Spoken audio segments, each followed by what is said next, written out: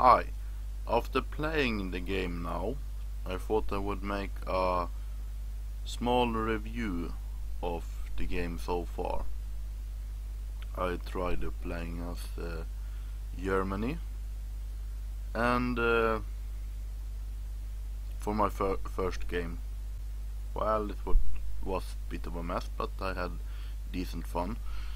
Uh, I will start um, by giving different aspects of the game a score between 1 and 10 where 10 is the best and in the end I will uh, have an overall score for the game. So, the equipment and unit production aspect of the game I give uh, 9 out of 10. I enjoyed it very much. A very interesting and enjoying part of the game. I loved seeing the different equipment I used and uh, when I captured uh, the Czechs and Austrians that I used the Czech and Austrian equipment. Sadly it didn't work for Poland because I guess they weren't annexed but uh, they really should fix that that you use um, equipment of uh, surrendering armies as well. That would, would be one way to improve it yeah, I I really like that. It uh, yeah. Uh, the graphics of the game are really good. So if if that's something that's important to you, it's pretty great. Nine out of ten. The diplomacy. Well, I would say it's better than than free but it's not the best diplomacy game ever if, if you thought that so it's 7 out of 10 decent battle plans I give 7 out of 10 they can be enjoying and somewhat easy to use but sometimes they're just a bit annoying when you have to circle around and encircle small pockets of uh, enemies. Then it's just get annoying and uh, you just want to automate it so a feature that you can uh, turn on automate and off for the AI to just simply deal with those situations would be great that would increase the score on battle plans. The settings in the game, well they're graphic settings but I have all, have all of them on, high. It isn't that advanced of a graphics game. But uh, yeah I don't think there's any wrong with the, uh, the graphic settings but other settings are just lacking tremendously. There there's just a severe lack of every setting. So I only gonna give settings 2 out of 10 a very low score there's, there's no messing settings you, ca you can't customize when pop-ups and events gonna show up or not you could even right click or click on parts of events or pop-ups in the previous games in EU4 in CK2 to customize when they would show up. It's completely removed, there's not that in this game at all. That's a real shame and a huge step back, unfortunately. Uh, there's no settings for it in the menu either, so I, I don't know why. There's there's not that many pop-ups anymore, so I guess that's good, but even if they're few, it's still good to have. And it makes time lapses very hard to do without removing the entire GUI. And um, the constructions, buildings, building factories. It has potential. It, it's uh,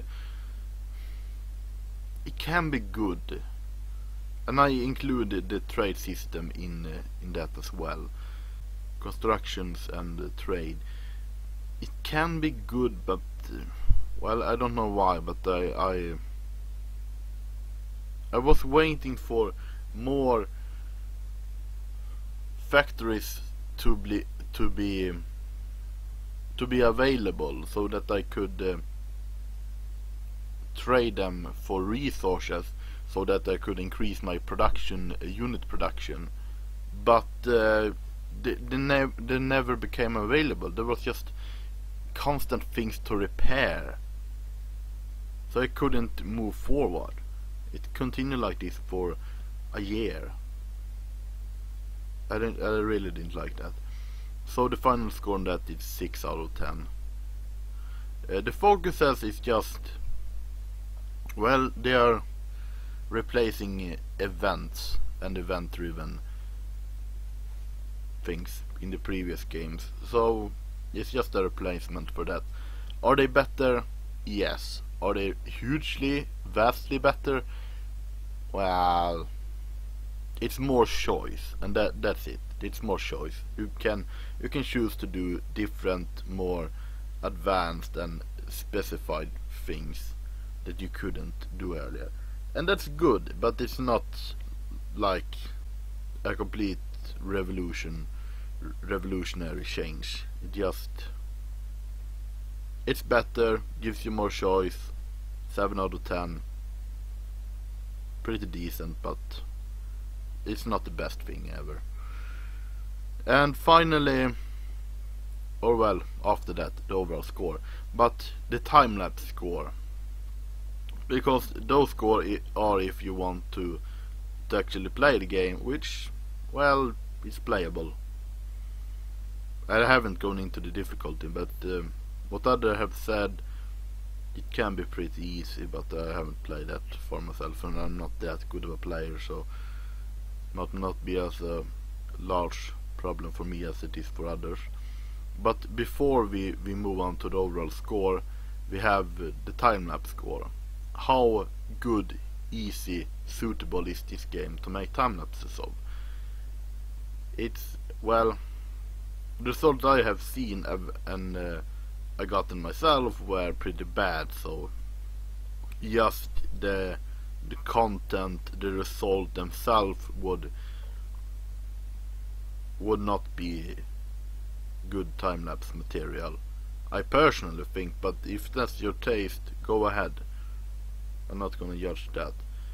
Uh, uh, but um, uh, disregarding the content, the results of the time lapses, how good is the game at making it easy, possible, and be customized in order to to to make easy good looking time lapses? The answer is not at all. If you're not removing the GUI at completely and have to deal with the, the GUI being there so you can get the clock to date, it's horrible. Since there are no messing settings, you can't get the pop-ups away. So you have to manually click them away, possibly editing them away. And if they're coming up pop-ups, like several times a year, that's that's a lot of edits. And you have to be there at the computer all the time clicking them all away. That's just too much effort for me. And I didn't have to do that previously because I have made things to to to not have to do that in previous games. And I can't do that anymore. So, time-lapse wise, this game is a huge step back. Unfortunately.